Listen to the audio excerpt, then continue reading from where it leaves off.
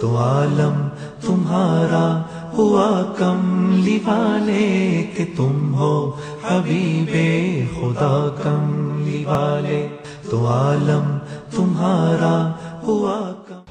بچہ پیدا ہوتا ہے تو اس کا ختنہ باہر کیا جاتا ہے۔ لیکن جب ہمارے نبی پیدا ہوئے تو اب ماں کے پیٹ سے ختنہ کروا کے آئے۔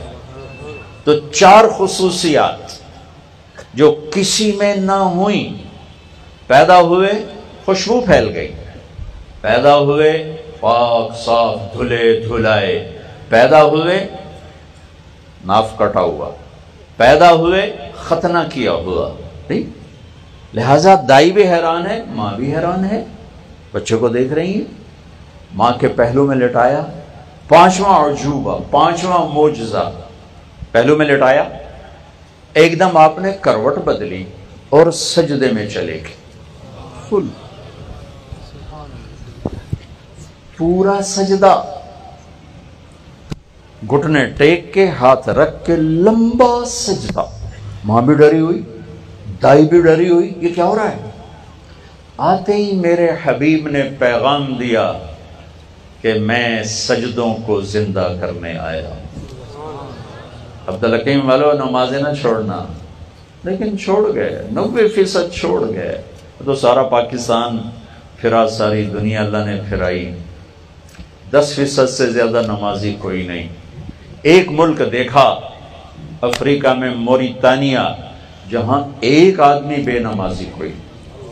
بس زندگی میں ایک ہی ملک ہے۔ اور اس کی آبادی تھوڑی سی لیکن جتنی بھی ہے ایک آدمی مرد، عورت، بچہ، بچی بے نمازی نہیں۔ اور دیہات صحرا میں ہے۔ پچانوے فیصد صحرا ہے، پانچ فیصد زراعت ہے۔ پاکستان سے کئی گنا بڑا ملک ہے۔ اور دیہات کا ہر بچہ بچی حافظ قرآن ہے۔ ہر بچہ بچی۔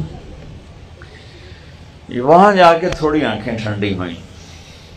آپ نے سجدہ کر کے اعلان کیا کہ سجدوں کو زندہ کرنے آیا ہوں۔ اور دنیا سے جاتے ہوئے اعلان کیا۔ جب آپ جا رہے تھے آپ آئے بارہ ربیع الاول، نہیں، اکیس اپریل، بائیس اپریل، پانچ سو اکہتر عیسوی، بارہ ربیع الاول، پیر کی صبح، چار بج کر بیس منٹ۔ آپ چار بج کر بیس منٹ کیسے کہہ رہا ہوں؟ اس وقت تو گھڑی نہیں تھی، اس لیے کہہ رہا ہوں کہ میں نے مکہ میں بائیس اپریل کی صبح صادق دیکھی تو چار بیس۔ لہٰذا یہ ایک اضافہ ہو گیا۔ جب آپ دنیا سے جا رہے ہیں تو بارہ ربیع الاول یعنی سات جون، چھ سو تینتیس عیسوی، گیارہ ہجری اور پیر کا دن دس سے بارہ کے درمیان کا ٹائم اور آپ کہہ رہے ہیں وما ملکت ایمانکم۔ اے میری امت، نماز نہ چھوڑنا، نماز نہ چھوڑنا۔ اور اپنے نوکروں پہ رحم کھانا سخت نہ ہو جانا، جابر نہ ہو جانا، ظالم نہ بننا۔ اپنے ملازموں پر، میری امت کے غریبوں پر رحم کرنا فرون نہ بننا۔ اللہ تعالیٰ نے رزق دیا ہے، جائیداد دیا ہے، امتحان ہے، تیرا حق نہیں ہے۔ آئے، سجدہ کیا، لمبا سجدہ۔ جب تشریف لے جا رہے ہیں آج، بارہ ربیع الاول ہے، تو آپ کہہ رہے ہیں، السلام۔ وما ملکت ایمانکم، نماز نہ چھوڑنا، میری امت کے غریبوں پہ رحم کرنا۔ پھر السلام السلام السلام نماز نہ چھوڑنا، نماز نہ چھوڑنا، نماز نہ چھوڑنا۔ اس کو دوراتے دوراتے دوراتے دوراتے آخری الفاظ، اللہم الرفیق الاعلی بس اب تو اپنے پاس ہی بلا لے۔ سجدے سے ابتدا کی اور سجدے پہ انتہا کر کے امت کو، انسانیت کو پیغام دیا کہ اپنے ماتھے کو زمین پہ ٹکاتے رہنا۔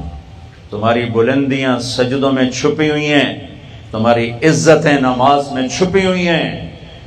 اللہ، کسی امت پہ پانچ نمازیں فرض نہیں تھی اس امت پہ پانچ فرض ہوئی پہلی امتوں پہ دو، ان پر پانچ۔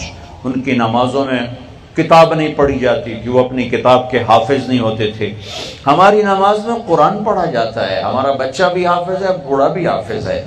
عبد الرحمن تیمی فرماتے ہیں، میں حرم میں تھا، مکہ۔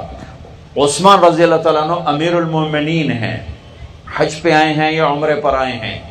حرم میں داخل ہوئے، جوتا ہاتھ میں۔ ایک طرف رکھا، اللہ اکبر، نماز شروع کی۔ اور الف لام میم، ذالک الکتاب سے تلاوت شروع کی۔ ان کو جستجو ہوئی۔ کہ یہ سورہ بقرہ سے جو ابتدا کی ہے، شروع کی بھلا دیکھو، رکوع کہاں کرتے ہیں؟ کہ میں بیٹھ گیا پاس۔ بقرہ گزر گئی، آل عمران گزر گئی، نساء گزر گئی معدہ گزر گئی۔ سورہ انعام گزر گئی آراف گزر گئی، انفال گزر گئی، توبہ گزر گئی، یونس گزر گئی۔ قل اعوذ برب الناس، ملک الناس، الہ الناس، من شر الوسوس الخناس الذي يوسوس في صدور الناس من الجنت والناس پہ جا کے رکوع کیا ایک آیت میں سارا قرآن پڑھ دیا، ایک آیت میں سارا قرآن ختم کر دیا، ایک آیت۔ آہا، اول تو پڑھنے والے دس فیصد ہیں۔ نوے فیصد تو پڑھتے ہی نہیں تیس فیصد جمعہ پڑھ لیتے ہیں ستر فیصد جمعہ بھی نہیں پڑھتے اور جو پڑھتے ہیں وہ صرف قلو واللہ نے یاد کیتی ہوئی ہے صرف قلو واللہ دا ٹھیکہ چاہے اللہ قلو باقی سارا قرآن انہوں ہٹا کے واپس کر چھڑے اور دعائے ایک بندہ پوچھنے لگی دعائے کنوت تے قلو واللہ پڑھ چھڑا میں کہا ٹھیک ہے دعا قنوت میں قل ہو اللہ ایک قل ہو اللہ کا ٹھیکہ لے کر باقی سارا قرآن واپس